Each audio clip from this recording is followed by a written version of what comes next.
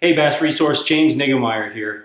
I want to share a technique with you that over the years I've, I've really grown to be very fond of. It's got a special spot in my Ranger boat, and that's the swim jig presentation. It's a technique that'll work anywhere in the country, 12 months of the year, as well as for all species of bass, whether it's largemouth, smallmouth, or spotted bass. I've had so much enjoyment out of it, uh, not only for fun, but it's also put some incredible fish in my live well and actually earned me some money at different stops on tour. So with that, let's get into this swim jig. I've got some great footage of me on the water fishing a swim jig. Here we go. I do like to jerk it and, and just give it, just impart some action so that thing's fluttering in the water and it's kind of, looks like it's trying to get away from something that might be pursuing it. But it's a, it's a great way to cover water and really has done, has, has been a tremendous bait for me um, in, in different tournaments over the years from say January to right through, you know, right through the fall. Sometimes those fish want you to work it a certain way. And so keep an open mind. Sometimes a straight retrieve, a slow roll is good, and other times high in the water column like today on this low light situation or on this on these low light conditions, a higher in the water column can be really good. On those brighter days with clear water, slow rolling it is a, maybe a little more in order. But so definitely play with your retrieves and let the fish kind of show you what they like. One of the things that makes it really good is it it's it's super subtle. So the fish don't hear it or see it till it's right up there near them. And sometimes that can really draw a reaction strike from them because it's it's something where they just have to either put up or shut up. They either need to strike it or let it go by and it makes them it kind of pulls that reaction strike out of those fish, which is, I think, critical in, in, in some events where fish aren't actively feeding. But I'm talking about swim jigs as they pertain to shallow water, drawn reaction strikes, places where you'd throw a, a spinner bait.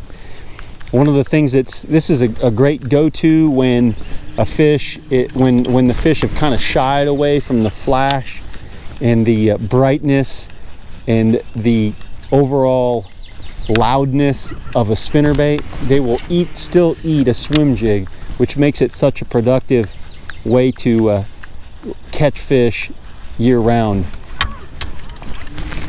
The, the colors that I use, I use basically three different colors. I use a green pumpkin, a white or shad pattern, and then a black and blue. Those are the real three colors that I fish with. I don't try to get too uh, I don't try to get too fancy with it. Every once in a while I'll hand tie something that's just uh, basically a variation of one of those. There's one. Yes, look at that good one right there too. And he just ate it just like like you would on a spinner bait. Got it right in the corner of the mouth and uh, just a great technique, way to catch them. If you've not tried sw swim jigging, this is uh, something I, you ought to try. I've kind of twisted up my line because I've been throwing it around a bunch, covering a lot of water. Put her back. All right. But that's quarter ounce. The sizes I generally fish are quarter and three eighth. And every once in a while I'll throw a half and catch them on that.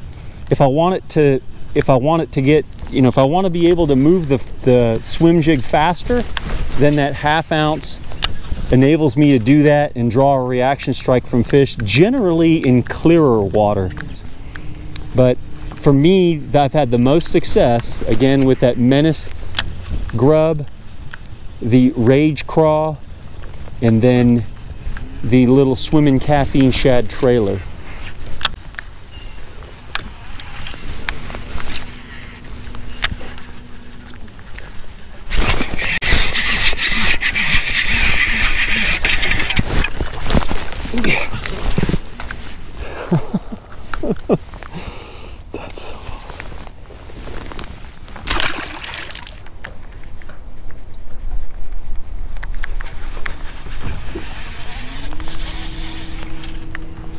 So what I've seen is that I'm probably getting 65% set to 70% of my strikes.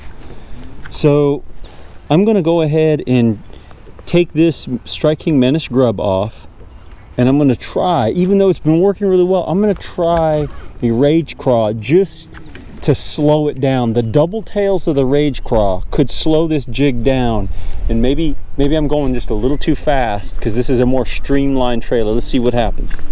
I'm going to go ahead and put this Rage Craw on the back of this Strike King KVD heavy cover swim jig. Again, I've this is kind of a custom color that I just I just put some purple and blue flake in the in the back there and I'm gonna put this Strike King Rage Craw and I pulled the first segment off of there to kind of shorten it. But with these appendages I believe we're going to get more drag and it's going to slow that bait down some. Even if I reel it the same pace it's going to slow it down some. So I'm going to go ahead and just kind of measure where I think it's going to come out. So right about there. And I want to rig this thing as straight as possible. My hands are wet. Straight as possible so that it swims straight and the, the swim jig doesn't roll over on its side. It's one thing about swim jigs, don't want that bait to roll over on its side. And there we go. We got it ready to go.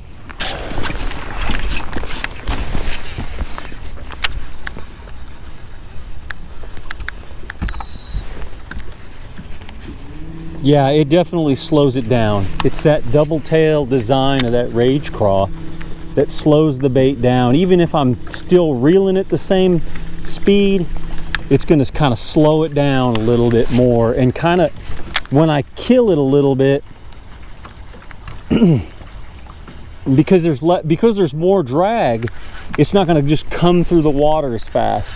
So when I kill it, it's actually gonna kind of stall it out and uh, and keep it high in the water column. So that's a really cool deal about you know just thinking about and and, and if I wanted something to go even faster than the Strike King uh, swimming caffeine shad is a better way to go. That little boot style trailer almost has no drag, just that little tail on the back there. So we're just gonna see if maybe this is what they want.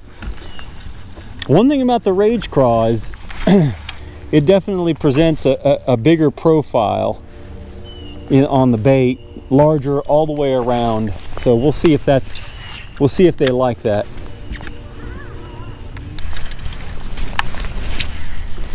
Skips really well too. That's a, that's a big plus with this bait, being able to skip it.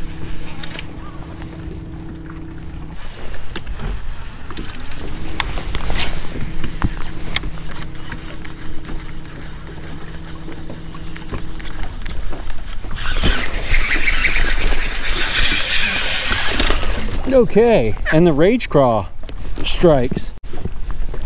I'm not sure if it really made that. See, that's more of a pre-spawn fish. I'm not sure if it's making that big of a difference, but just an example how that Rage Craw can get some some fish too.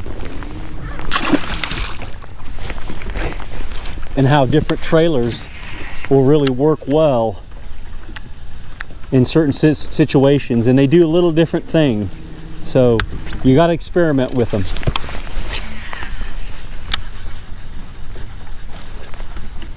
I really like a medium heavy rod. This is a seven foot three and a half. This is actually a Lew's Mark Rose. It's out of his Ledge series. But I like this, this length particularly because it's long enough that I can really throw it way out there but it's also just short enough where I can make real precise presentations to cover that I might come across while I'm fishing throughout the day. I like it with a 7.5 to 1 gear ratio reel, and I like that faster gear ratio reel because sometimes they'll, they'll eat that swim jig and come right to you, so you need to pick up that slack and then be able to set the hook.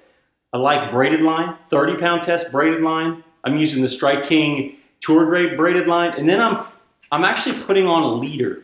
A lot of times I like a leader. I'm using about a six to eight foot leader of 16 to 20 pound test gamma fluorocarbon. Why I do that is because I love the, the fact that I have no stretch in the braid, but I also have the invisibility of fluorocarbon. I notice that a lot of times when I'm fishing the swim jig, my braid's not in the water. It's, you know, I'm fishing it in shallower water, particularly, and I feel like that braid being opaque sometimes can uh, maybe turn a fish off where that translucency of the fluorocarbon uh, can be a little bit more stealthy and actually sneak up on a fish and trick them a little bit more. If I'm fishing around a lot of cover, I go straight braid. But I, I really like the 30 pound test for the swim jig. I feel like for a lot of instances, uh, you're not really uh, doing like a flipping style presentation. It's more of a casting. So using the 50 and 65 pound test, you can do it. I don't think it's necessary. The 30 has uh, pulled some really big fish to the boat for me. I also want to show you guys my swim jig box because I really believe in keeping things simple. This is my swim jig, my actual swim jig box that uh, I carry on tour that goes in my Ranger. I believe it's what you would call a 3600 size box. It might look smaller, but it's not. Um, basically, I've got it separated into quarter, three eighths, and half. And then just the colors that I talked about earlier, your whites your shad patterns, and your, your green pumpkins, and then your bluegill patterns, and then the black and blues. I'm keeping things simple, and in that I find that um, I'm having more confidence when the one with the bait that I have tied on and I fish it well. So that's my swim jig overview. Thank you guys for tuning back into my YouTube channel. I hope that if you weren't familiar with the swim jig that you'll give it a chance. It's a tremendous fish producer, catches some really big ones. Um, and the thing that I think that's really cool about it is it enables me to cover lots of water and sift through areas that don't have a lot of fish so where I can find those areas where those fish are located. If you're new to my channel, please subscribe. And if you like the content that I'm putting out, please hit the like button, drop a comment. Love to hear from you. Until next time, good fishing.